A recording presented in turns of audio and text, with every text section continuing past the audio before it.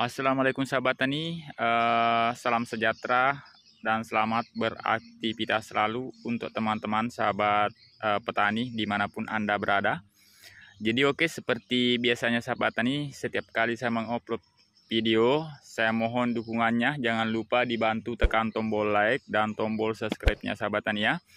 Dan jangan lupa dinyalakan lonceng notifikasinya supaya Anda selalu mendapat pemberitahuan terbaru dari Silbik Post Channel mengenai tentang seputaran pertanian. Jadi di kesempatan ini sahabat tani saya akan mereview atau menjelaskan eh, yaitu herbisida AMD eh, 675 SL.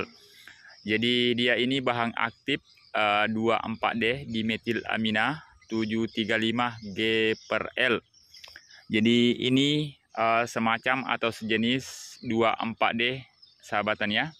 Jadi karena jenis-jenis uh, dari herbisida uh, sejenis 24D itu banyak sekali jenisnya. Yang penting kita perhatikan dia bahan aktif uh, 24D di metil amina. Oke. Jadi oke untuk teman-teman sahabat tani untuk mengenai tentang rumput ataupun uh, rumput yang diberantas dari AMD 6 AMD 6 ini itu rumputnya berupa teki ataupun gulma berdaun lebar sahabatan ya. Oke, seperti ini contohnya saya perlihatkan.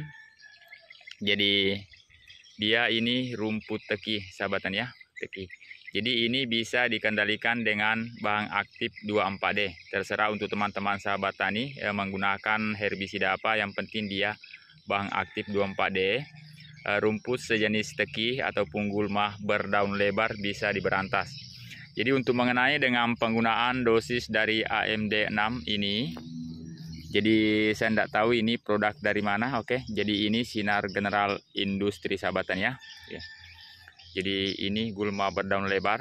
Jadi kalau untuk misalnya untuk mengenai tentang rumputnya, kalau dia sebesar ini, dia sebesar ini, oke.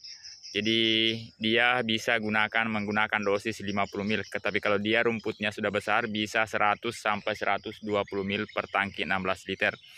Jadi untuk penggunaan dari uh, bahan aktif di metil 24D di metil amina ini itu sawah dalam keadaan kering sahabatan ya. Jadi racun apa pun dengan menggunakan bahan aktif 24D itu sawah harus dalam keadaan kering. Kalau yang sering saya perhatikan sahabatan ya.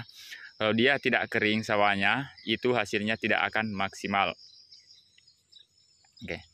Jadi ini eh, jangan khawatir sahabat tani kalau menggunakan dengan bahan aktif 24D itu, itu kalau kita semprot di hari ini dengan dosis tinggi, biasa padinya memerah sahabat tani ya, biasa padinya memerah. Tapi 3 sampai 4 hari ke depan akan pulih kembali. Stresnya tidak lama sahabat tani ya. Jadi oke okay, untuk teman-teman sahabat tani ya, mungkin cukup sekian informasi dari saya. Mudah-mudahan bisa bermanfaat. Jangan lupa dibagikan jika video ini bermanfaat.